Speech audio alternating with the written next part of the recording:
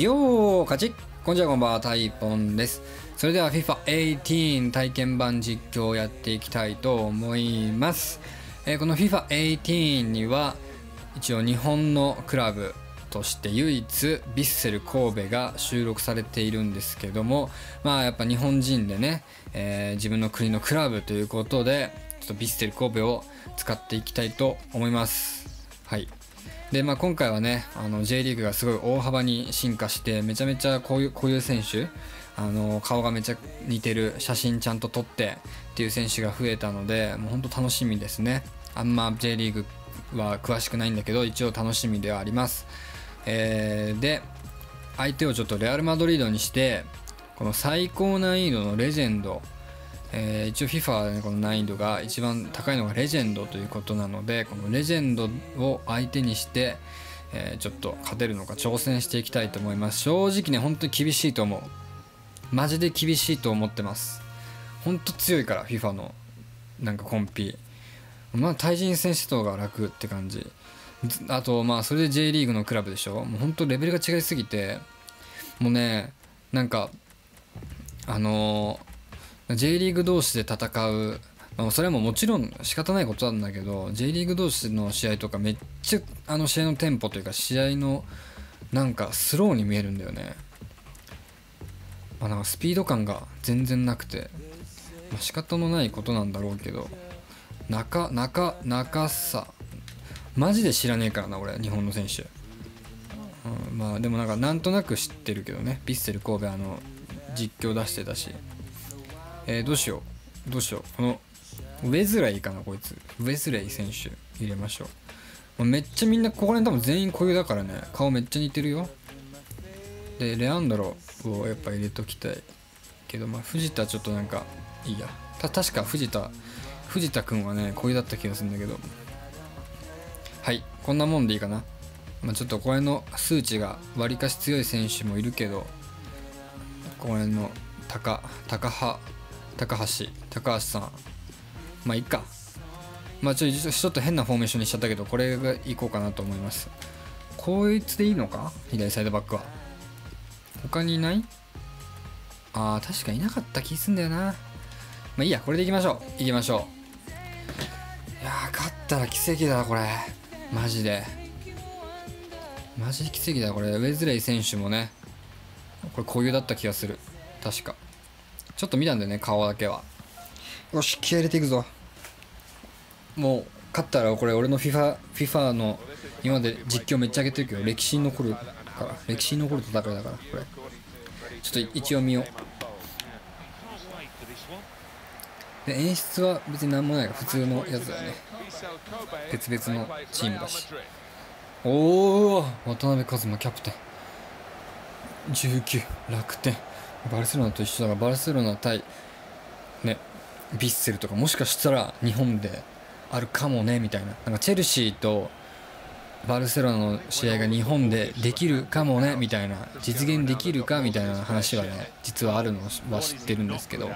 まあどっちもスポンサーが日本の企業っていうことで。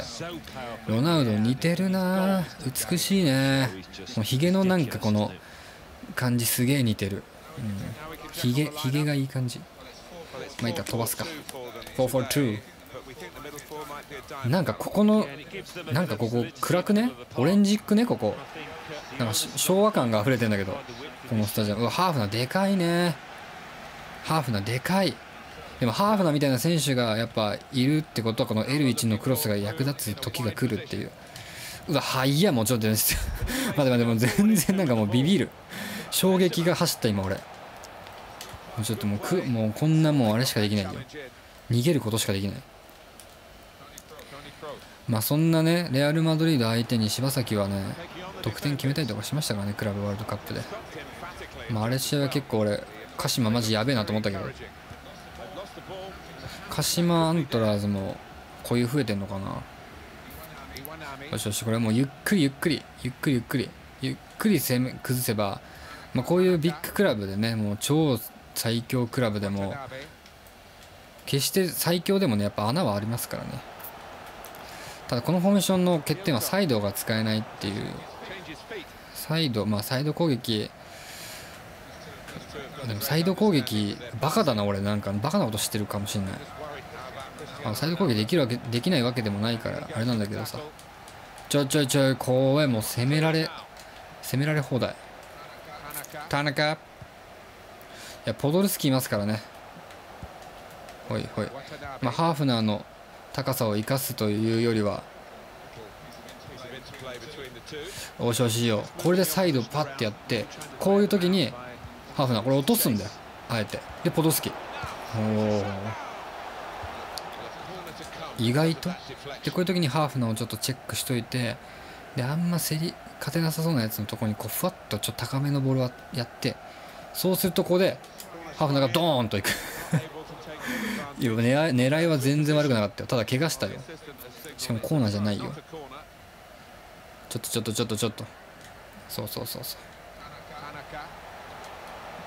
う。よしよしコーナーコーナー。積極的にコーナーを狙っていって。あれハーフナーいる？いるね。これか。でここにちょっと高めのボールを。ちょっと怪我してるけど気にしない。ただバランとの競り合いはきつい。それはきつい。バランとの競り合いはきついっすよ。ああここで今コに頼ってしまった。おっとポドルスキー。いや変えない変えない変えない。いきなりハーフなの顔が左に左下にフォって出てきたけど変えないよ。ちょっとこれ全然いけるかもしんないぞ。待って。なんかあれいわゆるこんなもんみたいな今感じで俺。手応え的には。これ落とす。あえて落とす。ちょっと待ってこれ。よしよしね。ナイスナイス。でハーフナ違う。落として。いけ。シュート。グロー危ない危ない危ない。いいよいいよ。ペース掴んでるよこれちょっと。田中の左足やばいからね。うん今のコーナーに行ったらねまたチャンスが巡ってきたかなと思ったんだけど。ポドルスキー。ポドルスキーのねもう日本人に対してのガチ切れ感をこれでも再現したい。わーみたいな。ごめんなさい。渡辺一馬。カルバハル VS 渡辺一馬。うわベルこのキーパーちょっと強いからな普通に能力。あの韓国のキーパー。名前ちょっとごめん忘れちゃった。一回覚えたんだけどな。すぐ忘れちゃった。マルセロあナイスキーパー。これはもうキーパー様々ですよ。ちょっと頼む頼む頼む。PK だけはあれしたいんで。ナイスナイス。あーナイスと思って取ったと思ったのにくっそ。さすがレレアル。さすがレアル。さすがさすが。ちょっと 全然取れないんだけどマジかよ。ただ 0, 0点には抑えられそうな雰囲気は出てるよ。ハーフナおこれよハーフナ。で田中。ちょっとこれ。でなお前へーパー。何それ？これシャワードアーベンズマンほらようまい。やっぱちょっと J リーグの方がこう気合が入るんだよな。うっそこれまでもらっていいかも。もらえないんだ。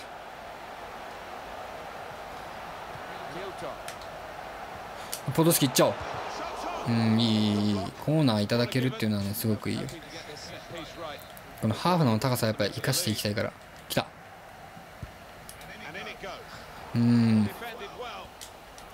おしファウルないファウルない。うんでもいいいい戦いしてる。意外と。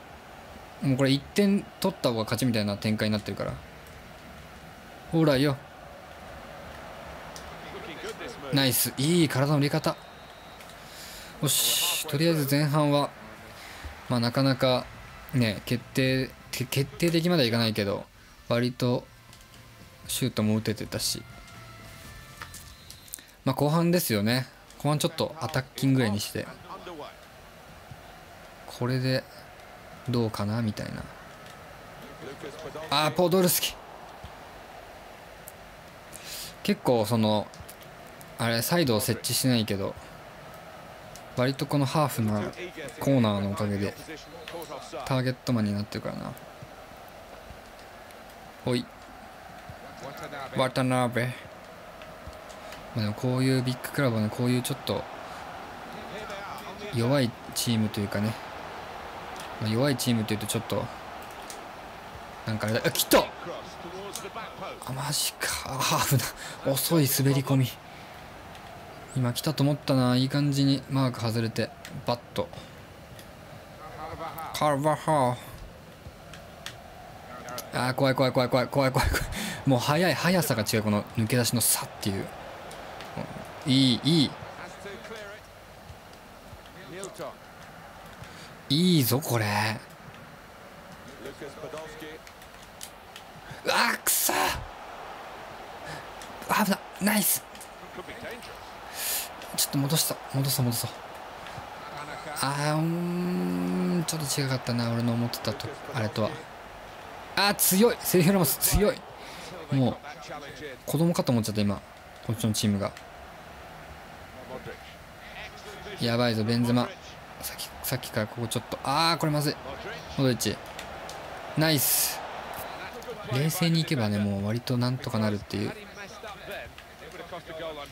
いいよ。ハーフなハーフななんだそれ？おおいいぞ。無理か。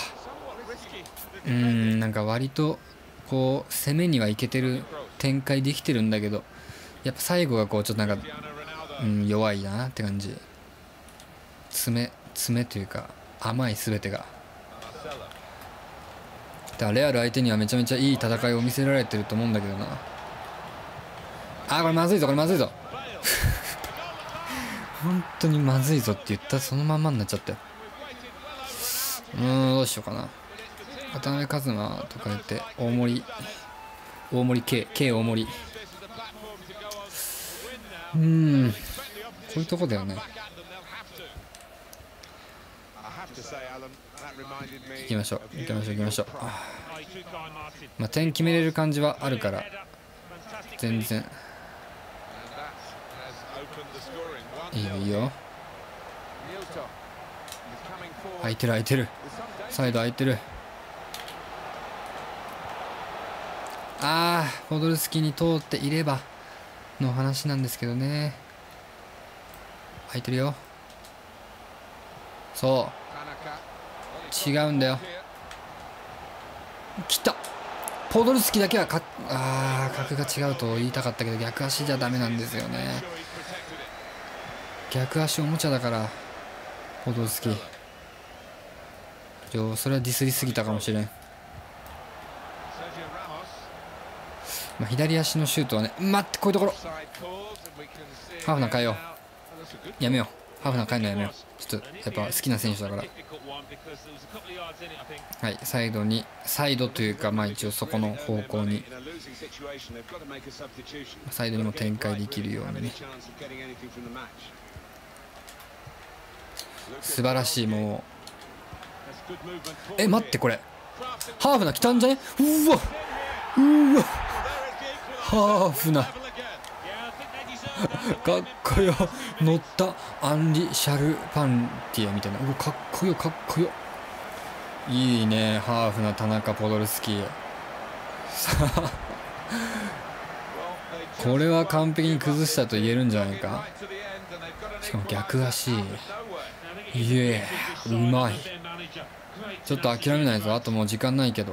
もう1点取れるように。もうこれはオールアウトでもぶぶち抜こう。ちょオールアウトやりすぎ。ウルトラアタッキングで。わでもやばいな。こっから。こっからのやっぱこの戦力の違いっていうのを見せられちゃうとね本当に困るんですよ。本当に困るんです。怖えベイル怖え。ああコーナーか。わコーナー怖え待ってコーナーめっちゃ怖いぞ。あよしハーフなハーフなあ危ない。ハーフもう怖いよ。怖いよ。すげえショートコーナーしてくるじゃん。大丈夫大丈夫。あ危ね何？もう5番誰？5番同士の戦いだった今。よしよしいいよ。コーナーか。ちょっと続くな。戻り近い時。あ違う違う違うぞ違うぞ。ちょ危ない危ない危ない。危ない危ない危ない。しちょ待ってマジで。マジで諦めないよ俺。マジ諦めないよ。いいいい。待って。ああもうめっちゃよかった。くそ。負けた。負けてねえや。引き分けだ。あこれ延長戦あるパターンもしかして。ないよね多分。あるし。あるし。ちょっと待って頑張ろう。選手かよ選手かよ。あと一枠残ってる。えー、ハーフな変えたくねえ。ハーフな変えたくねえよ。ハーフな変えたくねえけどレアンドロ出してよ。これは変えるべきか？あ田中？田中変えるか？レアンドロレアンドロ待ってこれポドルスキを1列下げてこれでいこう。よしよしよしよし。俺待って負けれねえ。待ってこれ勝てるぞ。勝てる。いけるいける。マジで。ちょ多分初期のフォーメーションこっちのフォーメーションが良かったかなこれは絶対。この感じは。めっちゃなんか使いやすい気がする。ちょい前そうそういうところそういうところ。あの本当に丁寧に丁寧に。ちょ待って待ってもうかあ終わった。あ分かったマルセロで。マルセロでよかったのベイルとかだったらもう死んでた。ちょいちょいちょいそういうとこもうあの本当に雑。あファール。これまずいさ。まずあそういうので来る。あああちょちょちょベイルにめっちゃやられてんだけど。ベイルちょっと止めれねえよ。くそ俺の勝つっていう目標が遠ざかっていく。もういいよ。まあ、まだ負けたことは決まったわけじゃないからね、まあ、延長戦までいくと本当こういうチームで戦ってる時はもう難しいんだよね勝つのが。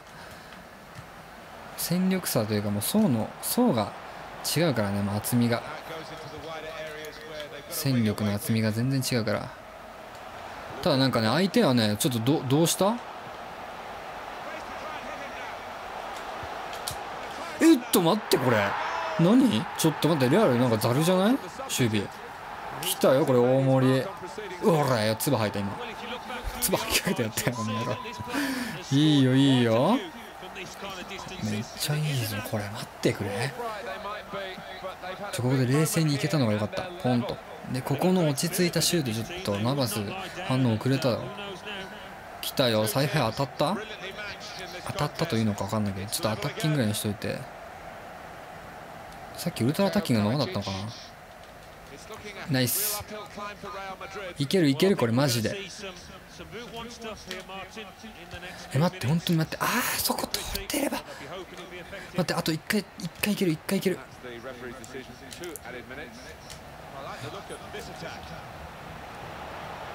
ここ打つ。うー。打ってよかったけどこれ待って。いけるいけるいけるいける。後半でいけるいける。勝てる勝てる勝てる。めっちゃ互角の戦い繰り広げてるよ。ただね両サイドバックがやばいねうちの。いけるいける。勝てる勝てるこれ。全然いけるって。ちょレアル倒そうよこれもう。俺割とレレジェンドちょっとこのあれなんだから。ちょっと恐怖症なんだから。レジェンド恐怖症。で俺意外と戦えてんな。あまずいぞ。これほんとまずい。あもうレもうロナウド怖いよ。ベイル怖い。おさおさおさバカバカバカ。バカバカ。もう小学生並みの語彙力になっちゃったよ。いいよいいよ。ちょまだポドルスキ入れてないからな。サイドちょっとここはやばい。あーちょっとここで雑なパス。あちょっとちょいちょいちょいちょいちょいちょい。ちょいちょいちょいおほほい。あこれまずいぞ。本当に怖い。全身全霊をこの試合に俺込めてるよ。来たぞ。ハーフなこれダメ。ダメダメダメダメ。ダメダメダメダメダメああああポドルスキーポドルスキー どうだどうだ？上向いて上向いてほらポドルスキーここに来て。やった待ってこれめっちゃやばいぞ。これもう興奮大興奮半端ない。ポドルスキーここ一発でいったなかったね。ワンタッチで。トラップしないで。やばいもうちょっとまだ頭クラクラする今俺。頭がクラクラするよはあちょちょちょレアが勝つぞ。あーあとちょっともうパークサパスパークサパス。パークサバス。どっちがもうどっちもいい。あーちょっともう緊張してきた。やばいやばいやばいやばいやばいやばい。緊張してきた。延長で勝つってもでかいぞこれ。もう本当に。もう囲い込み囲い込み。囲い込んじゃって囲い込んじゃって。おじゃあ終われ終われ終われ終われ。早く終われ。早く終われ。早く。早く早く。もうやめて。もうやめて。いいもういい。もういいもういい。もういいもういいもういい。もういい。おしゃしゃしゃしゃしゃしゃ。時間使い時間使い時間使い。時間使い時間使い。時間使い時間使い時間使い時間使い。よしよしケロケロケロ。やったぜ。